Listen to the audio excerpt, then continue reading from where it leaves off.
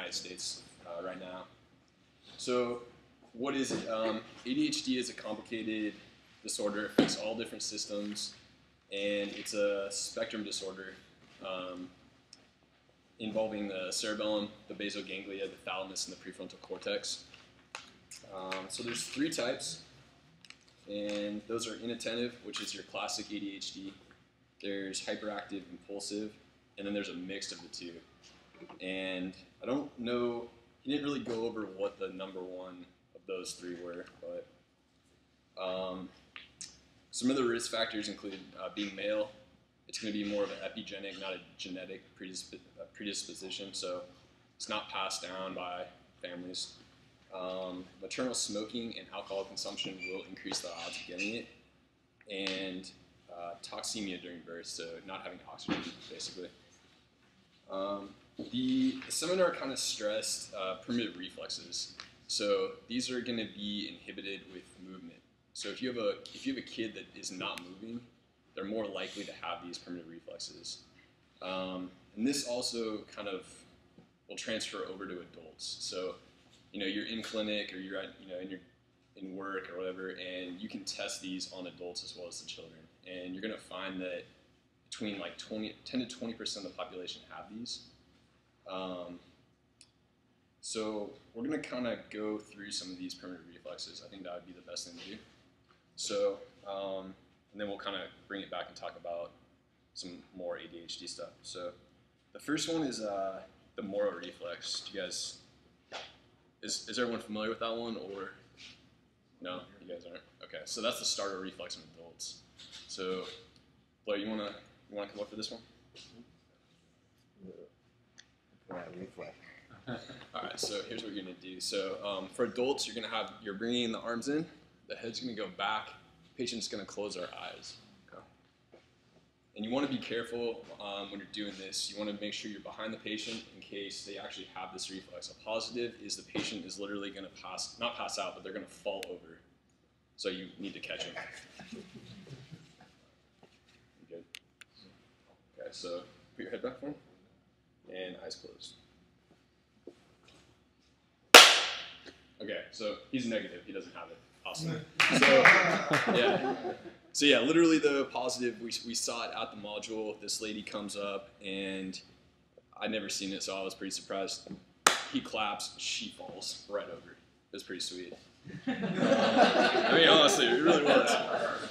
yeah, not for her. Um, so the next one is the, spinal galant reflex. So um, can you get on all fours on some table point?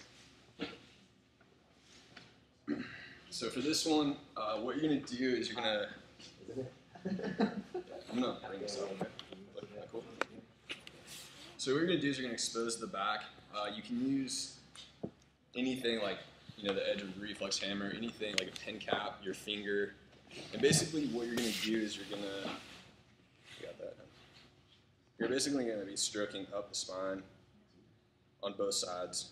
So again, he's negative, but what you're looking for is you're gonna have like a flexion of the trunk, and also the patient's arm may like kind of contract or flex inward.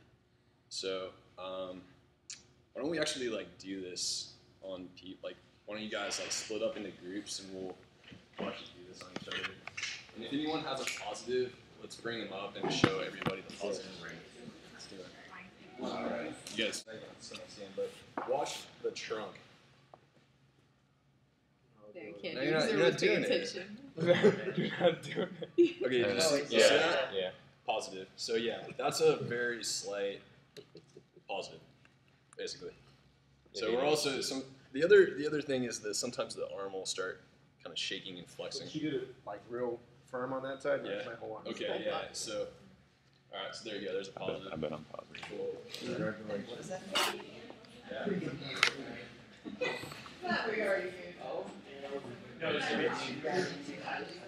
Oh, All right. So there's a few. There's a few more of these guys. Um,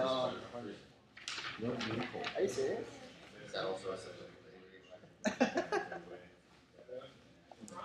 Does it matter whether you use stroke upward or downward? Yeah. All right, yeah. So the next one is the asymmetrical tonic neck reflex. So with this one, you're gonna have the patient put their arms out in front of them, and the uh, doctor is going to. So go ahead and close your eyes, and the doctor is actually gonna rotate the head to one side. And what you're looking for on this is you're looking for the arms to move towards the side of head rotation, but you also have to be careful that there's going to be some. They're the move. They're going to move a little bit, right? But it's you're looking for a major major movement basically. So yeah. So go ahead and close your eyes again. And you can do it a couple times to take out postural sway and stuff. So he doesn't really look like he's got it. Let's go to the other side. So he moved. You can see he moved, but that was more postural. Okay. Which one's this one, Marie? Uh, asymmetrical tonic neck reflex. All right. So And then. are you looking for the movement to occur at his waist or? in No, you're looking for literally the literally like the arms to go boom like that towards the side. So you rotate the head. This. They're gonna kind of move like Okay, that. but that rotation occurs starts here, right? Yeah. Or is that it's lateral lesion or contralateral? I think it's it's. I have to double check on that. Um, all right, one, more. Uh, the next one is going to be the tonic labyrinthine reflex. So this one's a lot like the Romberg's uh, test, but instead you're actually going to look for anterior posterior sway as opposed to anterior and side to side and posterior. So, um, so for this one, we're going to have you uh, feet together, hands at your side. You're going to close your eyes and you're going to bring your chin chest. All the way. Yeah, so he's he's he's good. Okay, go ahead and bring it all the way back. Eyes closed. You get a tiny bit, but not not much. So let's go ahead and do those. All right. So say you get these positives on your patients. Um, there's a couple uh, ways to rehab them that we went over. The first one is the, like a snow angel. You all remember being doing a snow angel when you were kids. So literally, you have the patient. Um, so you're literally just going to do a snow angel. Yeah. So so the key to this one though is doing it extremely extremely slow. Um, when they were, yeah, just like that. Yeah. This is for the arm? Yeah, this is this can this can actually like help with a few different ones. Um, Really yeah, so literally have the patient do it as slow as possible, and then uh, go ahead and flip over real quick. The next one is a this is kind of like a to help with the like cross crawl type stuff. So bring your leg kind of like flex it up like this. Like army crawl. Yeah, army crawl That's exactly. the lizard one, right? And, yeah. So this one, um, I mean, you actually remember. Sexy pose. Yeah, you're, you're trying to do cross crawl, so you're gonna you're gonna reach up with one as you um, bring the one leg up. So you're just gonna kind of army crawl like that. Right. So, so it's yeah. I guess it would be bring Yeah. that arm up, Yeah.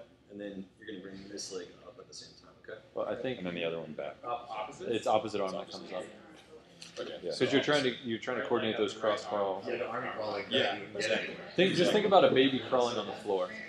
Yeah, like Yeah, and again, again, this one should be done pretty slowly. Yeah, have them do it real slow. Yeah, Have them so- drag along the ground. it. Too, what are you gonna Yes, do? yes, yeah. Start over. Okay. Yeah. Now slow. Slow that way. Bring your arm up. Yeah. My nephew had to do that, he couldn't do it at all, so I had him doing it passively. Oh, you're not looking for anything. This is the rehab portion. Oh, And he's okay. like, he never crawled when he was when he was little. He No. just would get on his butt, and he's been having all sorts of weird like hallucinations and stuff like that. But uh, Yeah. he's been doing lizard and whatever, and uh, he's like got completely back to like being semi-normal. It's crazy. But then he stopped. That's what happens. All right, so and then we'll just go over. There's two more of these. Uh, you've got the Babinski reflex, which I think most people know how to do, just like this, and you're looking for the fingers and grasp. So, Why does that happen again? It's, it's, so yeah, these are all primitive reflexes. So like when you're when you're a baby, you're gonna have like things like the rooting and the sucking reflex. Um, these are all like survival mechanisms in one sense, and they're just not inhibited in uh, in these children or in the adults.